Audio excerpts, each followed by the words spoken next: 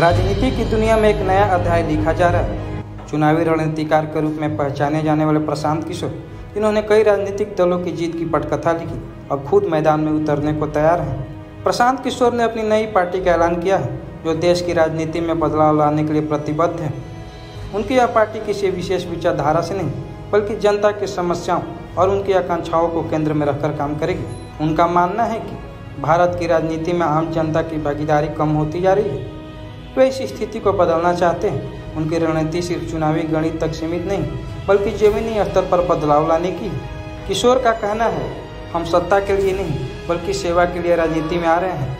हमारा उद्देश्य युवाओं, किसान और उन सभी वर्गों को आवाज़ को संसद तक पहुंचाना है, जिन्हें अब तक अनदेखी की गई है।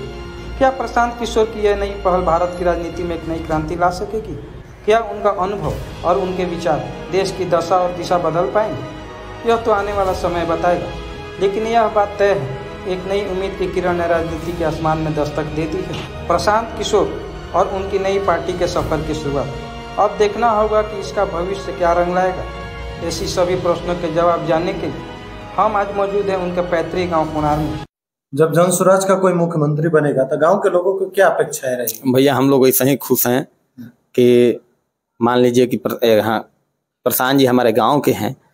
तो हम कब नहीं चाहेंगे कि प्रशांत जी आगे बढ़ें? हम तो मतलब हंड्रेड परसेंट दिल से चाह रहे हैं कि प्रशांत प्रशांत जी इतना मेहनत कर रहे हैं दो साल से तो उनका उसका फल मिलनी चाहिए। कल गए थे हम लोग। कल गए थे कि भाई थोड़ा सा सभा देखी जाए। केदार पांडे। क्या नाम हुआ बाबा? केदार पांडे। आप बुज़ुर्ग हैं। प्रशांत किशोर जी के गाँव के हैं। उनको बचपन से देखे हुए उनका व्यक्तित्व कैसा रहा है? बहुत अच्छा रहा। बहुत अच्छा। पढ़ने में भी बहुत अच्छे थे और हमेशा गाँव पर आते थे। दशहरा फगुआ त्यौहार में सभी गाँव से मिलजुल कर होली खेलते थे दशहरा मनाते थे। बहुत अच्छे थे। अभी वो नई पार्टी बना लिया है। उनके भविष्य के बारे में कैसे देख रहे हैं? अब हमारे गाँव के लाल पार्टी बना रहे तो हम तो खुशी में मनाएँगे। कि इससे अब बड़ा काम हो नहीं सकता है। जो प्रशांत जी कर रहे हैं बहुत अच्छे कर रहे हैं। क्या गाँव के लोग उनको मुख्यमंत्री बनना देखना चाहते हैं? अरे गाँव के लोग तो चाहते हैं कि छोटा पोस्ट मुख्यमंत्री प्रधानमंत्री बन जाए। और खुशी होगी हम लोगों को। मुख्यमंत्री कौन चीज़ मुख्यमंत्री तो कितना बना दिए दस बना दिए। गाँव के लोगों की क्या अपेक्षा रहेगी उनको? अपेक्षा तो बहुत है। जो गाँव कहेगा वो गाँव करेंगे। फैक्ट्री खुल जाए यहाँ पर। गरीबों की गरीबी दूर हो जाए बेरोजगारी दूर हो जाए। आपको लग रहा है कि आपकी बातें मानेंगे? अरे पूरा बिहार के बात मानेंगे। आप मुर्गा भात खाकर वोट दोगे तो मुखिया चोरी बनेगा विधायक चोरी बनेगा। आप ईमानदारी से अपना वोट दीजिए कीमत अपना वोट को लगाइए।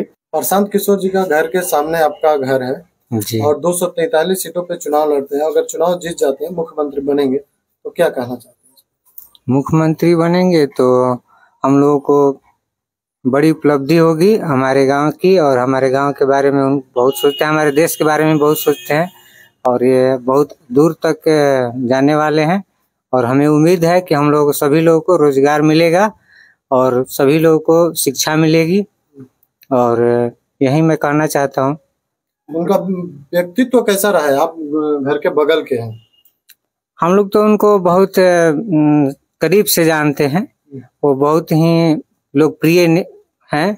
और उनके पिताजी भी बहुत हम लोगों के गाँव की मदद किए हैं। हम लोग के गाँव जवार पूरा लोग जानते हैं उनको बहुत पहले से। उनको ये जो उनका सम्मान है जो उनकी प्रतिभा है उनको बहुत दूर तक ले जाएगी।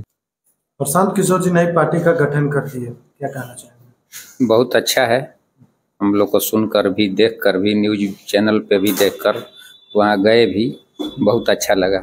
इसलिए कि जो भी पूरे भारत को नई दिशा दिए आज हमारे बिहार को भी नई दिशा देने आ रहे हैं तो उनका बहुत बहुत स्वागत है।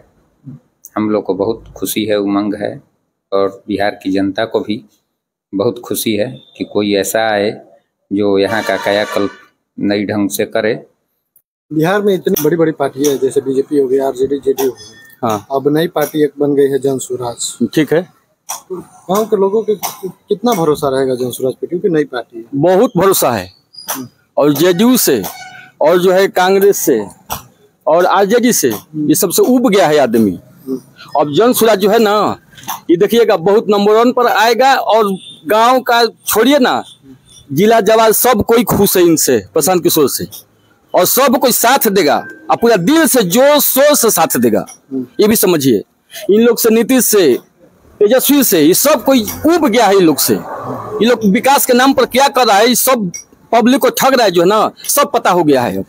आपका जो ये क्लिनिक है, मेडिकल प्रशांत किशोर जी के घर के सामने है, अगर चुनाव लड़ते हैं, सारे सीटों पर चुनाव जीत जाते हैं तो क्या कहना चाहते हैं? कल मुख्यमंत्री के घर के बगल आपका दुकान आ जाएगा देखिए, हम लोग तो ये चाहते हैं कि प्रशांत किशोर जी मुख्यमंत्री बन जाए, और उनको बनने से हमारे बिहार जो है, बहुत शिक्षा के मामला में सुधार हो सकती है।